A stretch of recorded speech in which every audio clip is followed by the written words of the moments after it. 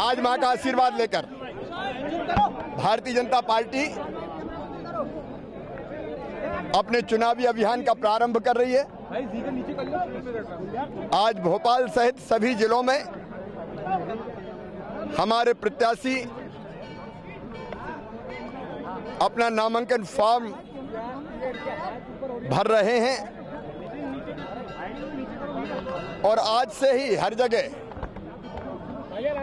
चुनाव अभियान का प्रारंभ हो रहा है। भारतीय जनता पार्टी की सरकार ने जो प्रदेश में विकास के काम किए और जनता के कल्याण के काम किए, वो अद्भुत और अभूतपूर्व है।